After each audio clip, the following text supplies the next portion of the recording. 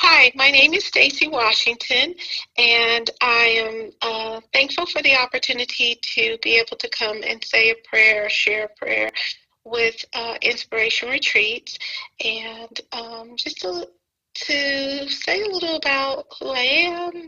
I'm a mother, a wife. I have two fur puppy uh, babies, and um, I to see people smile. Um, my earthly profession is that of a nurse, in which it fits me well, I believe, because I love um, having a servant spirit and being able to share, um, as in the spirit of hospitality. So, with that being said, um, I'd like to enter into prayer. Father God, in the name of Jesus, Lord, I thank you again for a chance to just sit with you and share the words from my heart to your ears, God.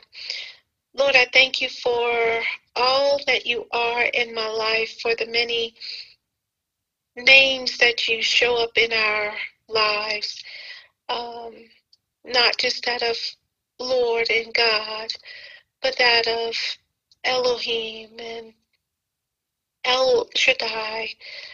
I thank you, Lord. Thank you for being Jehovah. Lord, as we have faced so many challenges on this week alone, God, I thank you for the opportunity to just sit with you and, and pray, praise you for keeping my mind, my body, my spirit focused in on you and not being moved by what we see in the challenges of this world. God, though those challenges exist, Lord, I thank you for always being available to us and being there to hear our cries, God. Whether it's early morning when you're rising the sun or late night when you're hanging the moon in the sky, God, you always allow there to be a way, even through the twinkling of a star to show that you are there, ever present with us. Thank you, Lord.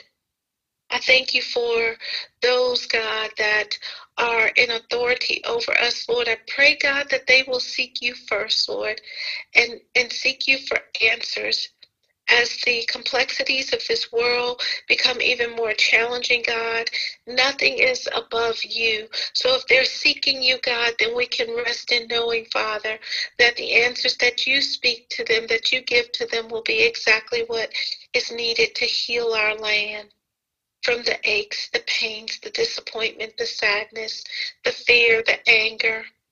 God, that we can really be here and, and rejoice in your spirit and who you are. God, that we can call on you in any of those times that we need you, Father, and know that you are there with us. Thank you, Lord. Right now, God, I want to pray for those that are struggling to uh, see or have faith or hope in tomorrow. God, just send an angel that they may know if they would just cry out to you, Lord, that you can be there, that you, your strength, your energy, your breath can breathe joy into their lives. Thank you right now, Father.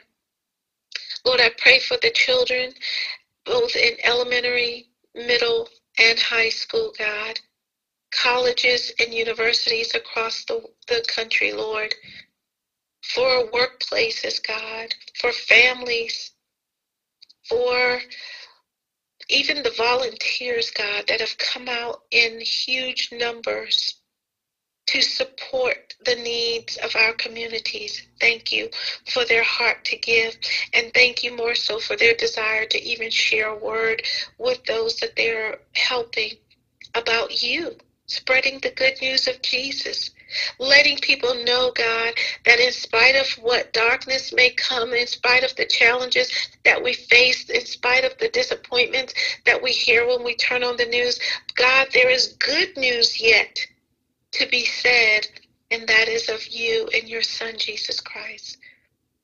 And the love and the joy and the fulfilling of your promises that are yet happening Thank you, God, that COVID has not come to cancel any of your promises on our behalf. Thank you, Lord. I praise you for that, God. And I thank you, Lord, for stopping by every rest home, every hospital, every rehabilitative center, every correctional center, God, and letting those know that you are there, letting them know, God, that their souls matter to you. Everyone's looking at color and race, but God, souls are what matters to you. And thank you that you find it, that you find time to show us what's important to you and to remind us that if we just seek you through your word, through the reading of your gospel, God, that we can really rest and live a very fulfilled life, a very abundant life. Thank you for that, God. I pray for our nation. I pray for this world. And I pray for those, God, that just think that there is no hope left. May you move expediently in their lives, God. I, I canceled every thought of suicide on today, God. Every thought of it, Lord. Every thought of it, Lord. In the name of Jesus. They shall live and not die. I thank you for that, God. And for the families that have been left behind to deal with the effects of that, God. Comfort their hearts. Comfort them in ways that our earthly words can never do for them, Lord. Thank you, Lord, for who you are. Thank you, Lord. In Jesus' name, amen.